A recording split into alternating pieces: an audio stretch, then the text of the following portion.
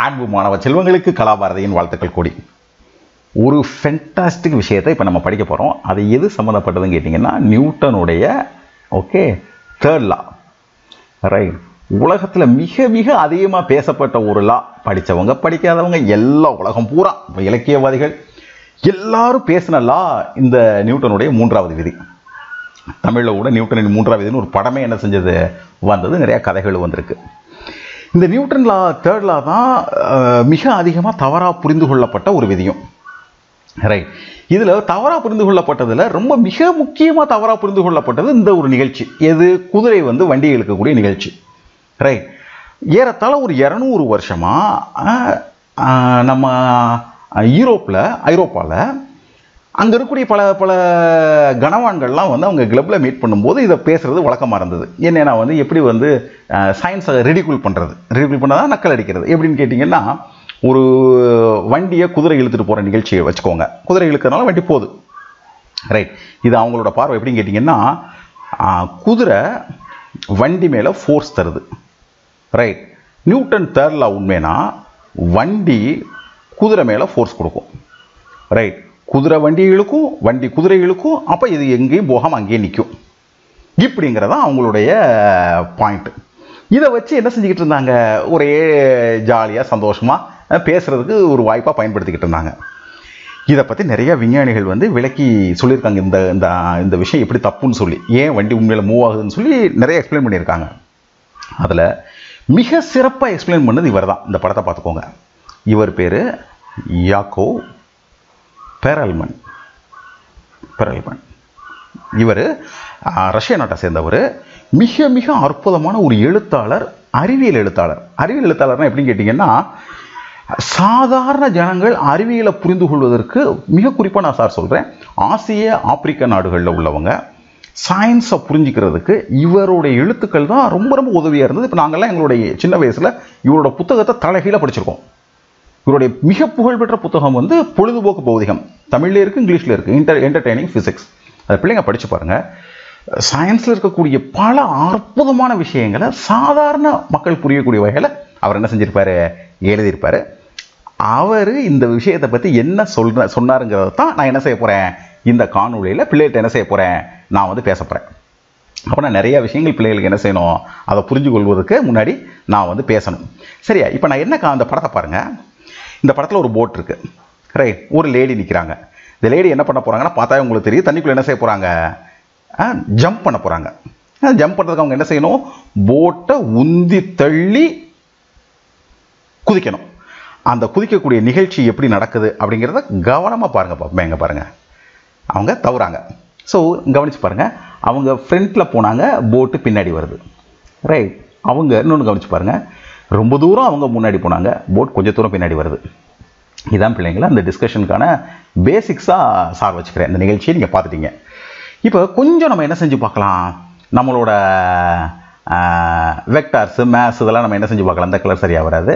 So I take better red colour எடுத்துக்கலாம். இதை நம்ம என்ன செய்யலாம்? ஆராய்ச்சி பண்ணலாம். இப்போ இவங்க உந்தி தள்ளும்போது எந்த டைரெக்ஷனில் ஃபோர்ஸ் கொடுக்குறாங்கன்னு பாருங்கள் இதான் அவங்களுடைய டைரெக்ஷன் ஆஃப் ஃபோர்ஸ் அப்படி தானே இருக்குது அவங்க கால் அப்படி தானே இருக்குது ஸோ அப்போ இப்படி தான் அவங்க ஃபோர்ஸ் கொடுக்காங்க கொடுத்தாங்க. இந்த ஃபோர்ஸை ரெண்டு பகுதியாக பிரிக்கலாம். ஒன்று அதனோட ஹரிசாண்டல் காம்போனண்ட்டு நான் இப்போதைக்கு வெர்டிகல் காம்போனண்ட் விட்டுறேன். ஏன்னா வெர்டிகல் காம்போனண்ட் காரணமாக உயர போனாங்க. நான் இதை இந்த டைரக்ஷனை பற்றி மட்டும் இப்போதைக்கு கவலைப்படுறேன். அப்போ என்ன நடக்கும் கேட்டிங்கன்னா இந்த டைரக்ஷனில் இந்த ஃபோர்ஸ் இந்த ஃப்ரிக்ஷன் காரணமாக இவங்க அதை அழுத்தி அப்படி தள்ளாங்க இல்லையா?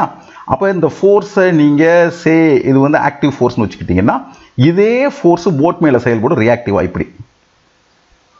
சரியா? அப்போ ஃபோர்ஸுங்கிறது காமன் தான். இவங்க மேலே செயல்படுது போட்டு மேலே செயல்படுது. இதன் காரணமாக இவங்களும் ஆக்சலரேட் ஆங்க முன் முன்னாடி ஆக்சலரேட் ஆனாங்க.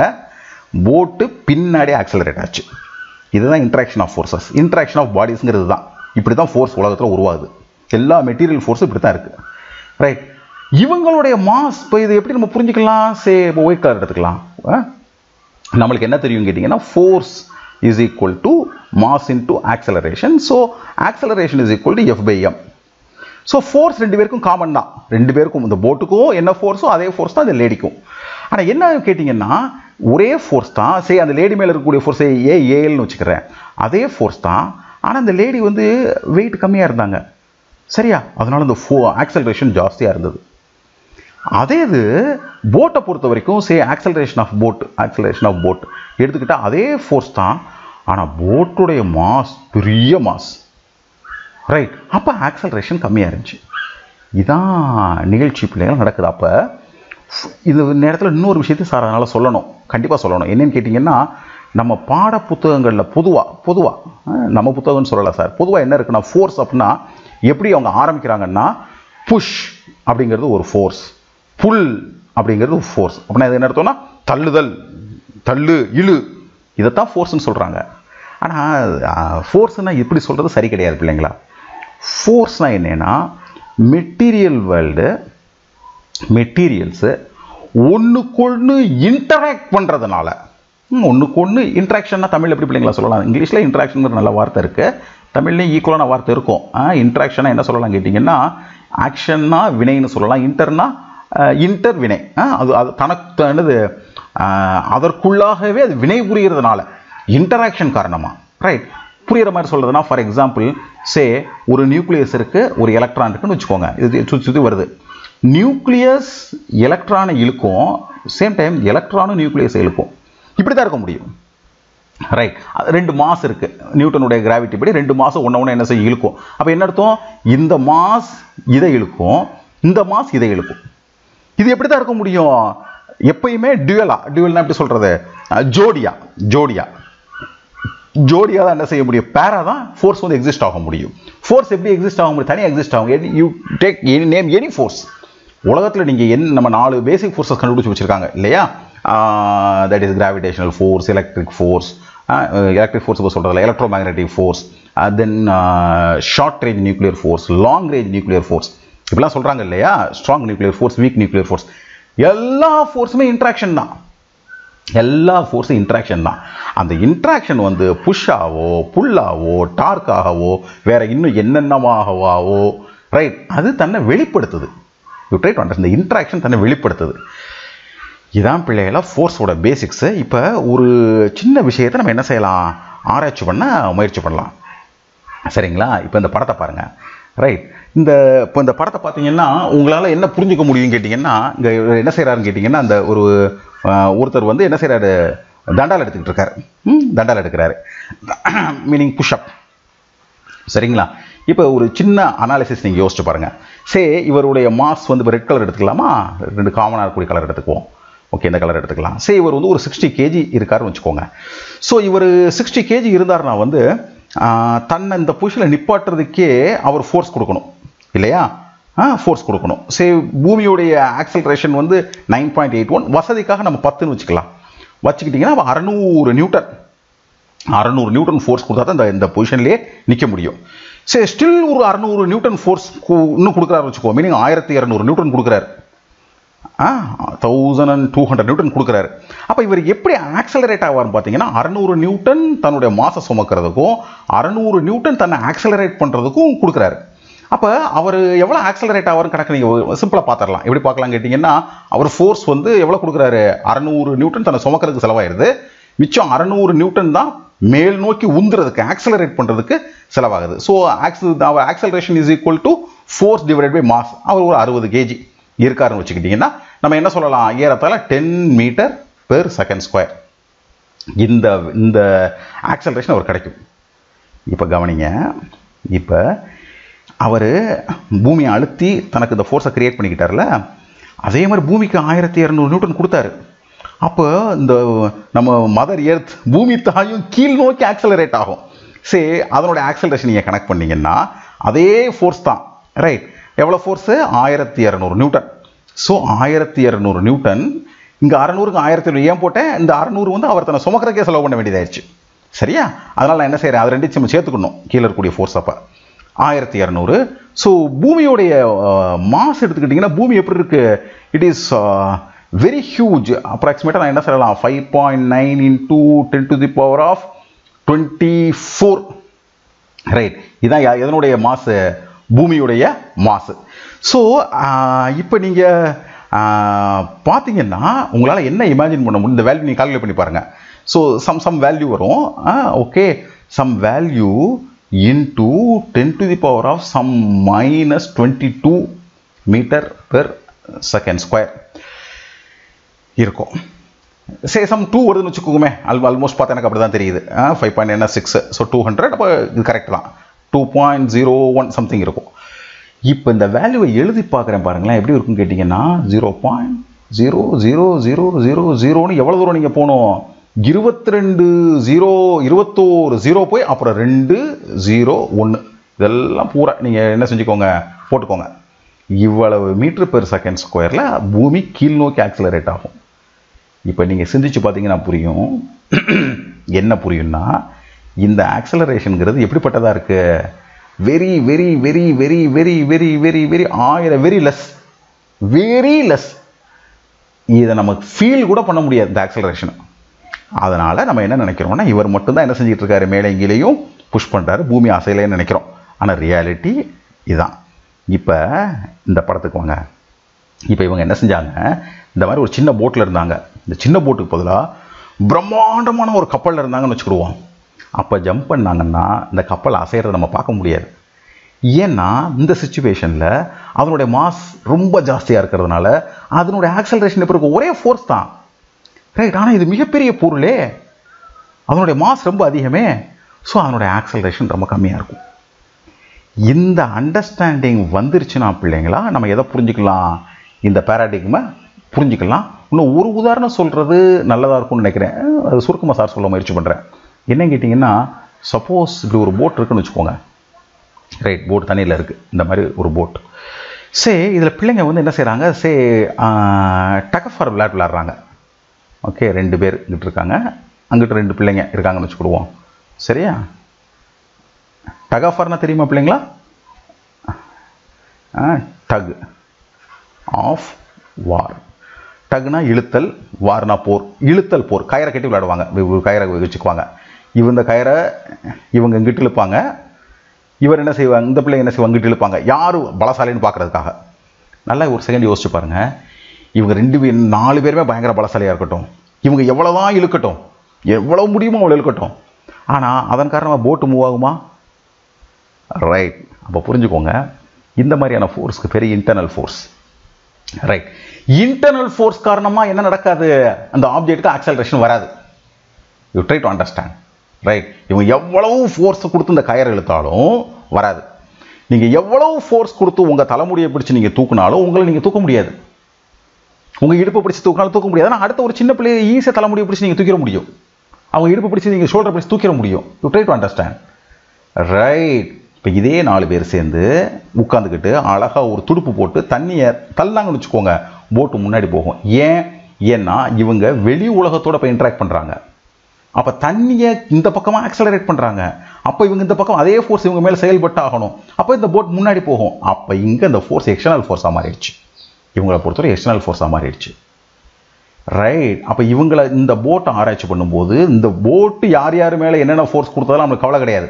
இந்த போட்டு மேலே என்ன ஃபோர்ஸ் செயல்பட்டுச்சு? ஸோ இந்த டைரக்ஷனில் ஃபோர்ஸ் செயல்பட்டுச்சு. ஸோ போட் ஃப்ரண்ட்டில் போகுது. காட்டி பாயிண்ட் இப்போ இந்த குதிரையை வந்து இப்போ நான் விளக்காமே புரிஞ்சிருக்கும்னு நினைக்கிறேன். ஏன்னு கேட்டால் நிறைய விஷயங்கள் நம்ம என்ன செஞ்சிட்டோம்? பேசிட்டோம். ரைட் ஃபர்ஸ்ட் நீங்கள் புரிஞ்சுக்கோங்க இந்த குதிரை வந்து இந்த தரையில் அழகாக ஓட முடியும். சரியா? இந்த குதிரை காற்றில் ஓட முடியுமா? ஓட முடியாது இதே இது பூமிக்கு வெளியே வந்த குதிரையை வண்டி கொண்டு போயிட்டோம். போக முடியுமா? குதிரை ஓடுமா? குதிரைக்கு இதே கை கால் எல்லாமே இருக்குது ஓடுமா? ஓடாது. ஏன் தரையில் ஓடுது? ஏன்னா குதிரை ஓடுதுன்னா உண்மையில் என்ன பண்ணுதுன்னா தன்னுடைய குழம்புகளை தரையில் அழுத்தி ரைட் தன்னோட மொத்த எடையை அந்த காலில் செலுத்தி இந்த பக்கமாக அது என்ன செய்யுது? தள்ளுது. ஃப்ரிக்ஷனை பயன்படுத்தி ஃப்ரிக்ஷன் ஃபோர்ஸ் காரணமாக அப்படி தள்ளுறதுனால தர குதிரையை திருப்பி தள்ளுது.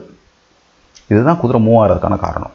யூ ட்ரை டு அண்டர்ஸ்டாண்ட் அப்போ குதிரையை பொறுத்த வரைக்கும் குதிரை பூமியோட இன்ட்ராக்ட் பண்ணும்போது பூமி மே பூமி தன் மேலே விசை கொடுக்கக்கூடிய சூழ்நிலையை அது சிருஷ்டிக்குது. தட் அதான் ஃபோர்ஸ் கிரியேட் இந்த இன்ட்ராக்ஷன் காரணமாக தான் ஃபோர்ஸ் என்ன ஆகுது? கிரியேட் ஆகுது. சரியா? அதனால தான் குதிரை என்ன ஆகுது? ஃப்ரண்ட்டில் போகுது. இப்போ ரொம்ப எக்ஸாக்டாக நம்ம பேசுகிறதுனா இதை இந்த குதிரையவும் இந்த வண்டியையும் சேர்த்து ஒரு சிஸ்டமாக நமக்கு எடுத்துக்கலாம் இது இது சிஸ்டம் ரைட் இந்த சிஸ்டத்தில் யார் இருக்கா? ஹார்ஸ் இருக்குது ஓகே என்ன இருக்குது கார்ட் இருக்குது ஹார்ஸ்னா குதிரை கார்ட்னா வண்டி. ஹார்ஸ் இருக்குது கார்ட் இருக்குது இப்போ நம்ம இது நகழுதா இல்லையான்னு பார்க்குறதுக்கு என்ன பண்ணணும் கேட்டிங்கன்னா ரொம்ப சிம்பிள் இதை அப்படியே மறந்துட்டு இது மேலே என்னென்ன ஃபோர்ஸ் எல்லாம் செயல்படுதுன்னு ஆராய்ச்சி பண்ணணும். சிம்பிள் இது மேலே என்னென்ன ஃபோர்ஸ் எல்லாம் செயல்படுது? ரொம்ப சிம்பிள் பூமி முதல்ல இவங்களை கீழே இழுக்குது. சரியா? இது அடிப்படை force this is called as M into G சரியா? பூமி இழுத்ததுனால இந்த ஹா- இந்த வண்டி இந்த இந்த இந்த வண்டியும் குதிரையும் சேர்த்து பூமியோடு நிற்கிது அப்போ பூமியோட மேற்பரப்பு இவங்களை திருப்பி தள்ளுது. ரைட் அதுக்கு பேர் ரியாக்ஷன் ஓகே நார்மல் ஃபோர்ஸ்னு சொல்லுவாங்க. இதுக்கு பேர் ரியாக்ஷன் சரியா? அப்போ இது மட்டும் இருந்துச்சுன்னா வண்டி போகாது. இது மட்டும் இருந்துச்சுன்னா வண்டி போகாது. ஆனால் இவருங்க தான் குதிரை இருக்கே. இந்த இந்த இதனுடைய சிஸ்டத்தில் ஒரு பகுதியாக குதிரை இருக்கு இல்லையா? குதிரை என்ன பண்ணுது? இந்த பூமி மேலே தன்னோட எடையை பயன்படுத்தி மசில்ஸை பயன்படுத்தி இப்படி ஒரு தள்ளு தள்ளுது. அதனால் பூமி மறுபடியும் அந்த குதிரையை இப்படி தள்ளுது. ரைட் இது குதிரை பூமி மேலே கொடுத்த ஃபோர்ஸு நமக்கு அதை பற்றி கவலை கிடையாது. நம்ம கவலை இந்த வண்டி மேலே என்ன ஃபோர்ஸ் செயல்பட்டுச்சு? உடனே பூமி என்ன பண்ணுது? இந்த வண்டி மேலே இப்படி ஃபோர்ஸை செயல்படுது கொடுக்குது. இந்த ஃபோர்ஸில் இந்த பகுதியும் இருக்குது இந்த பகுதியும் இருக்குது ரைட் இந்த பகுதி காரணமாக this is force this is external force பூமி இந்த குதிரை வண்டி மேலே செலு செலுத்திய ஃபோர்ஸ் இந்த ஃபோர்ஸ் முன்னோக்கி இழுக்கிறதுனால குதிரை ஃப்ரண்ட்டில் போகுது. வண்டியும் ஃப்ரண்ட்டில் போகுது. இந்த சிஸ்டம் ஃப்ரண்ட்டில் போகுது. நம்ம இப்படி தான் நடக்கிறோம். சைக்கிள் இப்படி தான் ஓடுது பைக் இப்படி தான் போகுது கார் எல்லாம் இப்படி தான் ஓடுது. என்னென்ன சிஸ்டம் எல்லாம் பூமி மேலே ஃபோர்ஸ் கொடுத்து பூமியை உங்கள் மேலே ஃபோர்ஸ் பண்ண வைக்கக்கூடிய சூழ்நிலையை சிருஷ்டிச்சா நீங்கள் லொகோமோட்டிவ் இடப்பெயர்ச்சி செய்யக்கூடிய விலைமைக்கு வந்துடுவீங்க இதில் இன்னொரு சுவாரஸ்யமான விஷயம் விஷயமும் இருக்குது என்னன்னு கேட்டிங்கன்னா இப்படி நீங்கள் இந்த திசையில் பூமி உங்கள் மேலே ஃபோர்ஸை செயல்படக்கூடிய காரணத்தினால இந்த ஃபோர்ஸ்க்கு இந்த வெர்டிக்கல் காம்பனண்ட் இருக்குது இந்த வெர்டிக்கல் காம்பனண்ட் இப்படி இருக்கும் ரைட் இப்படி மேல் நோக்கி இது இழுக்கிற காரணத்தினால இது யாருக்கு அகேன்ஸ்டாக இருக்குது எம்ஜிக்கு அகேன்ஸ்டாக இருக்குது அது எம்ஜிக்கு அகேன்ஸ்டாக மாறுறதுனால இந்த ஃப்ரிக்ஷனும் குறைஞ்சிரும். யூ ட்ரை டு அண்டர்ஸ்டாண்ட் இந்த ஃப்ரிக்ஷனும் குறைஞ்சிரும். லகுவாக குதிரை வண்டி என்ன செய்யும்? இழுத்துட்டு போகும். உங்களால் புரிஞ்சுக்க முடியும்னு நினைக்கிறேன். அதனால தான் சப்போஸ் நீங்கள் ஒரு ட்ராலியை தள்ளணும்னு வச்சுக்கோங்களேன். Okay say this is a simple trolley ட்ராலினா தெரியுதுல பிள்ளைங்களா? இதான் ட்ராலி இந்த ட்ராலியை தள்ளணும்னு வச்சுக்கோங்களேன். பொதுவாக என்ன அட்வைஸ் பண்ணுவோன்னா ஒருத்தர் இருக்காருன்னு வச்சுக்கோங்க. ஆ, ஐயா இவர் தள்ளிட்டு போனாருன்னு வச்சுக்கோங்க. அப்போ வந்து தள்ளுறது கஷ்டமாக இருக்கும். ஏன்னா அந்த ஃபோர்ஸோடைய பகுதி பூமியை அழுத்தும் அழுத்துறது காரணமாக ஃப்ரிக்ஷன் கூடும். அதனால் நம்ம என்ன சொல்லுவோம்னா தள்ளாதீங்க இழுங்கன்னு சொல்லுவோம். அதே ஃபோர்ஸ் தான் வர பொறுத்த வரைக்கும் கொடுக்குறாரு. ஆனால் அந்த இழுக்கிறது என்ன பண்ணும் கேட்டிங்கன்னா இதுக்கு மேலே இப்படி ஒரு ஃபோர்ஸை க்ரியேட் பண்ணும். இந்த ஃபோர்ஸ் காரணமாக எம்ஜிக்கு இந்த இந்த ஃபோர்ஸ்க்கு அகேன்ஸ்டாக அந்த ஃபோர்ஸ் இருக்குது அதனால் இந்த ஃப்ரிக்ஷன் குறையும். ஈஸியாக இழுத்துட்டு போவார். ஞாபகம் வச்சுக்கோங்க. தள்ளுறதை விட இழுக்கிறது ஈஸி வண்டியை. ரைட் எனக்கா ட்ராலியை தள்ள வேண்டியவோ நகர்த்தி கொண்டு போக வேண்டிய அவசியம் வந்துச்சுன்னா நீங்கள் என்ன செய்யணும்? இழுத்து கொண்டு போகணும். இதான் பிள்ளைங்களா இதனுடைய ஆராய்ச்சி. பிள்ளைகளுக்கு புரிஞ்சிருக்கும்னு நினைக்கிறேன். பலவிதமான ப்ராப்ளம் சால்வ் பண்ணுறதுக்கு இது உங்களுக்கு உதவியாக இருக்கும். சப்போஸ் இது எவ்வளோ ஆக்சலரேட்டாக தான் எப்படி கொடுப்பீங்க சிம்பிளாக சொல்லிடுவீங்க A is equal to F divided by mass of the system simple as simple as that இதை பல வழிகளில் ஆராய்ச்சி பண்ணலாம் பிள்ளைங்களா. நான் இப்படி ஆராய்ச்சி பண்ணி காமிச்சிருக்கேன். ரைட் நீங்கள் குதிரையை மட்டும் ஒரு சிஸ்டமாக வச்சு ஆராய்ச்சி பண்ணலாம். வண்டியை மட்டும் ஒரு சிஸ்டமாக வச்சு ஆராய்ச்சி பண்ணலாம். அந்த ஆராய்ச்சிகளை நான் யார்கிட்ட விட்டுறேன்? பிள்ளைகள்கிட்ட விட்டுறேன். ஏன்னா அது உங்களோட செயல்பாடுகளாக இருக்கட்டும்னு சார் நினைக்கிறேன். சரியா பிள்ளைங்களா? சந்தேகம் இருந்ததுன்னா கமெண்ட் பாக்ஸில் சாருக்கு தெரியப்படுத்துங்க. உங்கள் அனைவருக்கும் கலாபாரதியின் அன்பு வாழ்த்துக்கள் பிள்ளைகளா